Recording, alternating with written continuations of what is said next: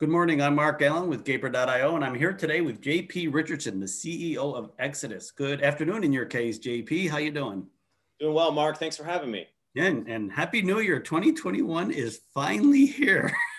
yes, yeah, 2020 was a, was a crazy year, and it's good to get into 2021 for sure. And hopefully, it's not as crazy as 2020, but we'll see. Yes, I know. And, and little side note for something I did for 2020 for the for the New Year's Eve 2020, I went and watched the last sunset of 2020 from 2,500 feet, a mountain peak in, in the Bay Area. Sounds incredible. Good riddance to 2020. so, so to start with, can you tell us a brief background of yourself and your work experience? Absolutely. So I am an engineer by trade, and I've worked at a number of companies uh, here in Nebraska. And um, you know, mo- most of the companies where actually all of them where, you know, you have to go into an office. So my, my background is, is in engineering and um, it was about uh, 20, 2015 when we came up with the idea for, for Exodus. Hmm. Cool. And, and as a, were you a developer or, um, and I, when in your yes. previous job? Yeah. So actually I had uh, two engineering degrees, uh, computer science and then electrical engineering. So oh. computer engineering, electrical engineering. So, but yes, I uh, focused most of, mostly as a developer. Uh, there was a small stint where I focused a little bit more on the electrical engineering, uh, but that was something I just did not enjoy, and I ended up really loving uh, to write code. Yeah, no, I.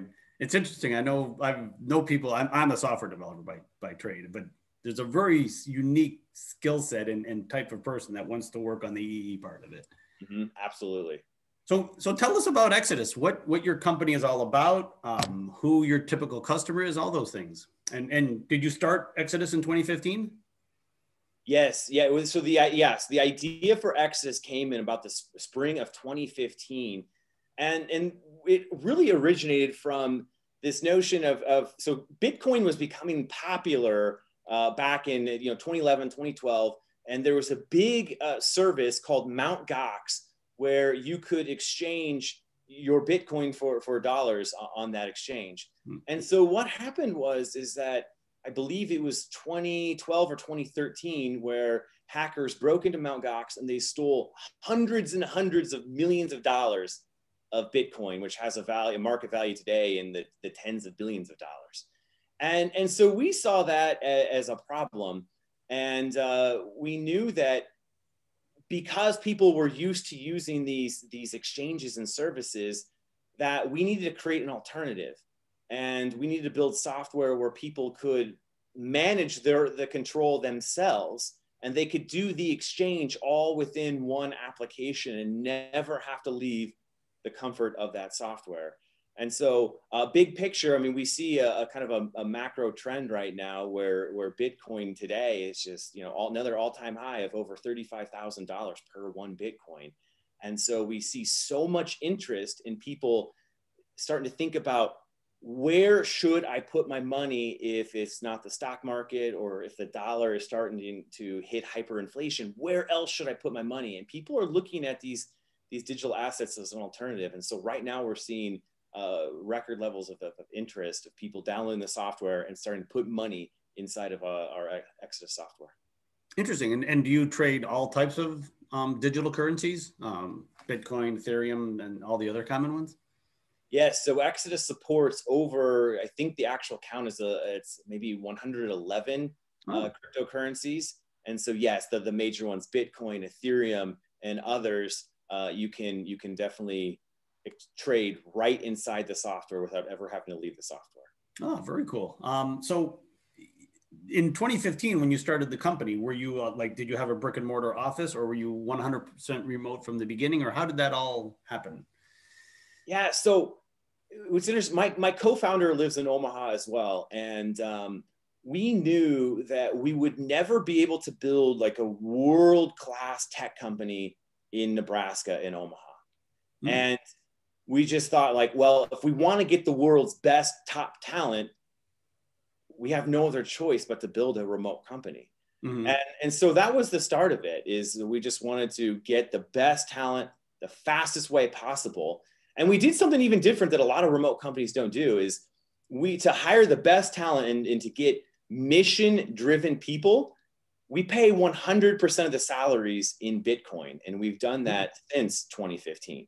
And so when we go to somebody, but it makes it very easy. I could go to somebody in, in Russia and meet them online or whatever, or write in code or whatever. I can say to them like, hey, here's what we're doing. Are you interested in, in helping us out? Yes, I am. Will you accept Bitcoin? Yes, I will. Okay, cool. Let's get started. And that's how easy it was for us to get moving quickly and scale really quickly in the early days. Wow, that's and and were most of the people open to that, or did you get a lot of people that said, "Nah, I'm not, I'm not going to take that chance"? Yes. So in when, when we had our, our first, so we start we started in 2015 as just the idea. We raised money in the fall of 2016, and then we actually started hiring in early 2017. Mm. And so early 2017, we had uh, some people kind of give pushback, uh, and those people were like, "Well, Exodus is just not for you then." And mm. and but now today, it's we have we've when we hire today, and you know, people that are aren't even interested in in, in Bitcoin or cryptocurrency, and then once we tell them about the mission, they get more excited, but they're still new to it. Mm-hmm. They're still very open to accepting Bitcoin, and I think it's really a testament that Bitcoin is is is on the precipice of going mainstream. Yeah, and, and just I mean, correct me if I'm wrong, but you could pay them in Bitcoin on a like a Friday, and they could literally turn around and sell it that day, right? Yeah, and you know what's really cool about that is um, it was the morning of December 31st, and I realized this just this, this uh, New Year's Eve. I realized I'm like, our budget shows that we have more spending for some marketing costs, and mm. so I reached out to some podcasters that day to do a pre-buys for the year of 2021. And mm-hmm. because by that point in time, you know, I couldn't do a wire transfer or anything like that, but I mm-hmm. could send Bitcoin if they were open to it. And, and, right. and three of them were open to accepting Bitcoin. And so it was real easy. I did ad buys for an entire year, 2021, and I paid these podcasters just in Bitcoin right away. And, and they're, you know, some are in the United States and, and one was in the UK. It was a very, very easy transaction. That's really interesting. And, and so your your company, how many like how much of your staff is actually in the United States, and how much of it's you know spread throughout the world? Yeah, so we have uh, the the last count is I think seventy three people worldwide, hmm. and uh, in the United States.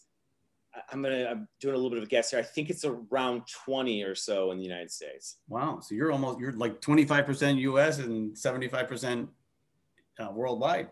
And yes. are they are they full time employees or are they like in the U.S. case 1099s or how do you do that? You know, in the in the U.S. they're they're full uh, employees, so so not 1099s, but they are full employees, and so we use um, what is called we use uh, TriNet. I don't know if you've heard of that oh, service, yeah. But, but yeah, so TriNet basically acts as the employer organization that does you know the the healthcare and the, the tax withholdings and things like that. So a person's salaries actually it's denominated in dollars because if you know, because Bitcoin is still there's some mm-hmm. relative volatility here, and so it's easy to, to to denominate the salary in dollars, but then we use Bitcoin as as basically the medium of exchange to to get them that salary. That's interesting. Um, so each week they get a, or each paycheck they actually get a slightly different number of Bitcoin, right? Yes, yes, absolutely. And and people people they always say they're like they want it. They I mean, and everybody want they want it to go down a little bit before before payday get paid, and then payday ha- have it go up. I mean, you know, it's, it's, a really exciting kind of day for everybody. See, if you get enough employees, what you could have them do is they all sell the day before. That's right, and move the markets. Yeah, I think it's going to take a little while to move the markets, though. Interesting. So, what do you think is the future of remote employment? You obviously are bought into it, but what do you think in general for you know the average company out there? Oh, I think eh, the the companies that we talk so pre this pandemic, you know, we, we talked to a number of companies in this space where we do a business deals with, and most companies pre pandemic were not remote. Mm-hmm. And I remember actually there is uh, one company I met with in, in January, and they had a, an office in a New York skyrise. And I was there at their office, and um, you know, and, and they loved it, and they they thought it was great. I'm like, okay, you know, that's cool. And uh, I talked to their CEO from time to time, and I just spoke to him a, a few weeks ago, and and and he's like, you know what, JP, I don't think we have any employees in New York anymore. We are 100% remote now. Mm-hmm. And so I that experience is an experience that I am I'm witnessing all over across all the companies that, that we speak to. So what I think this means is that remote work is here to stay. Mm-hmm. And and the reason it's it's here to stay is because once people get a real comfortable remote setup, you got, you got a good computer and you got a good comfortable chair and, and you got your, your, your headphones and you get some mm-hmm. music going, like you can be really productive. And not only are you really productive, but it is a way for what I, what I would say is for the company to pay you as an individual the ultimate amount of respect because as an employer i don't require that you come in at 9 and you got to stay till 5 p.m and i know you're not to be productive during that entire time. It's like nobody cares right? Start work at 9 stop at 11 a.m it, it doesn't matter right? It's like work when you want work what when it works best for you and your schedule and for your family. And i think the future of remote is here. And i think more and more companies are recognizing they don't have to pay these expensive rents uh, in these big cities and they can just let their employees work remote and everybody's happy and more productive. So it's definitely the future. Yeah no i agree. I think actually one of the things i've talked to a few ceos that have said now that i don't have this rent that i have to pay every month i can hire like two or three more employees. Yeah we it accelerates their growth. Absolutely. So yeah, I, I agree. I think there's still going to be some. I mean, I, there's still. I think it's going to go hybrid depending upon the company. Like a company like yourself, because of the nature of what you do, I think you can do what you do remote forever. There's some companies that they do need to get people that come into something that is, and it might not be their office, but a co-working space or something like that. Yeah, it's it's it's it's going to depend. Like if it's an informational type business or a software type business, there's really no reason you can't go, go remote. But if we're talking about like a you know like a dentist office or a doctor's office, I mean that becomes a little unavoidable. Um, but I think for most most businesses, it's it's yeah. here to stay. Yeah, sure. yeah. What I think what what I think COVID did was it took a trend that was starting to go up, mm-hmm. and it just did this. Yes. It made it go. It just accelerated it. And the more we stay remote, which looks like it's gonna be another six months from the sounds of it, the more people are gonna be like, you know, it's gonna be actually something that people that employees say, hey, I went to work at least three days a week from home. Yeah, You agree? Yes. And and you know what? Uh, this that's one thing that's actually been a, uh, uh, not an advantage for us is that before the pandemic, we could we could go to people that we were recruiting. We could say, hey, look, Mm-hmm. You work remote. You get up when you want, you start work when you want, and you stop work when you want. And people love that. It was a huge selling point for us. So mm-hmm. that's one thing now. Now that everybody's doing it, it's it's no longer a selling point as much. Yeah, but you could say you were the pioneer. this is true. This is true. I'm gonna start saying that. This and, and you can say, and so we we're we are gonna be the pioneer of the next big thing. Yes. Come on board. I love it. well, JP, I want to thank you for your time today. It's been great talking to you. Um, happy New Year. Hopefully, 2021 will be better than 2020. Um, and, and in your industry, I think it will. I have a funny feeling uh, cryptocurrencies are here to stay too. yes, absolutely. So, have a great day and have a great year. All right. Thank you for your time. You as well. All right. Bye.